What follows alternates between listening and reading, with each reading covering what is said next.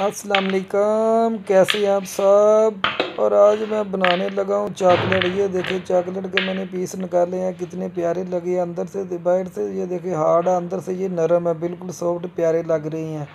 ये देखें। Welcome to Rana chef international.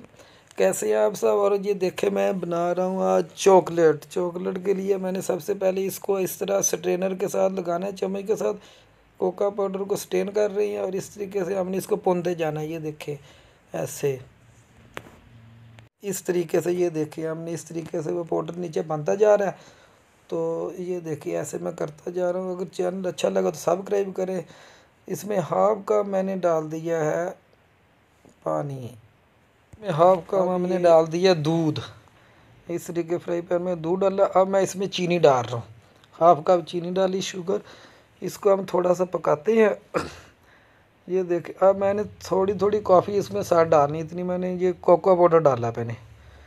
Coca powder डाल दिया, ये देखें, ऐसे इसको हमने हल करते जाना है। तो ये साथ साथ इसको पकाते जाना है, नीचे ना लगे, इसको ऐसे मूव करते जाना कोई हलाते जाना है ऐसे। तो फिर ये देख कलर भी माशाल्लाह प्यारा हो गया और थिक भी होती जा रही है ऐसे। ये जो इसकी डलियाँ बन रही हैं इसको डलियाँ नहीं बनने देना इसको हर, हरकत में रखना है इसका इस तरीके से। ऐसे इसको हिलाते जाएँ साथ साथ। ये देखें अब मैंने थोड़ा थोड़ा और डाल दी। ये देखें हाफ़ टेबल स्पून मैंने कोका पाउडर डाला और इसको साथ मूव करता रहा मैं ऐसे। ये देखें फिर इसको ऐसे मैं मूव करता रहा।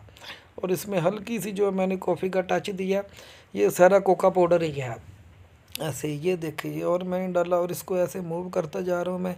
इसको हल्की आँच पे पकाना है, हल्की आँच पे पकाएँगे। अब ये देखें मैंने इस स्टिक को पकड़ लिया और इसको क्विक मूव हमने इसको जल्दी जल्दी हरकत देनी है, ऐसे, ताकि ये इसकी डलियाँ नहीं बननी चाहिए। जैसे आपने देखा गुड़ बन रहा होता है तो गुड़ को जब वो कढ़ाई से बाहर निकालते हैं, उसको इस तरीके से लकड़ी के उन्होंने ये बनाए होते उसके साथ वो उसको हरकत देते रहे थे ऐसे तो फिर गुड़ की जो है ना वो डलियाँ नहीं बनती उसमें।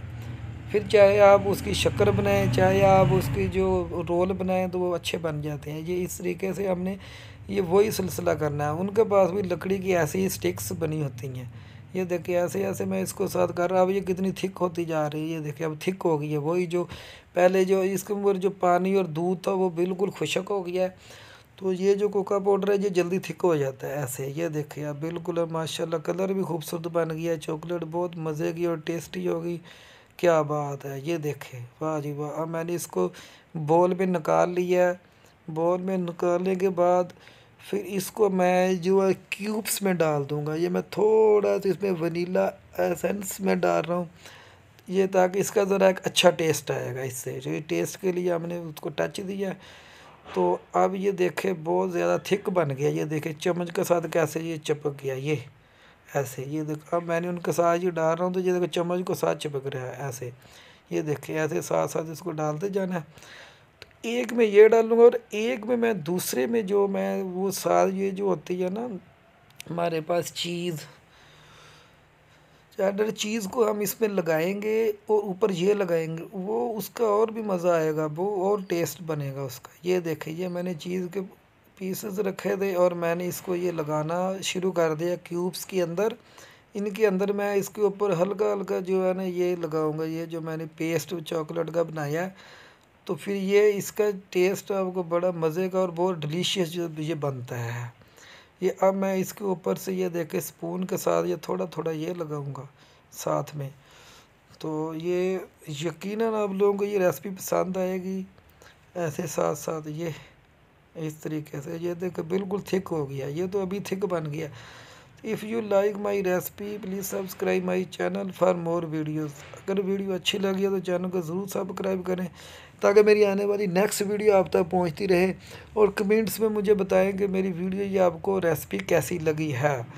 तो अब हमने इसके बाद हमने फ्रीज कर दिया। ये देखो फ्रीज़र में रखेंगे तो ये बिल्कुल जम जम तो आप लोग सबने पहले ही गई है। अब ये बिल्कुल फ्रीज ये देखें ना, चार घंटों बाद इसको निकालेंगे तो ये जम, ये देखे अब बिल्कुल जम चुकी है ये।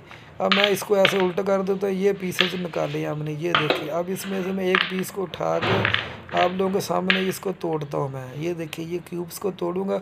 अंदर से ये थोड़ी थोड़ी नरम होगी। वो देखे ये देखें माशाल्लाह जी कितनी मज़े की बनी है। Thanks for watching my video please subscribe my channel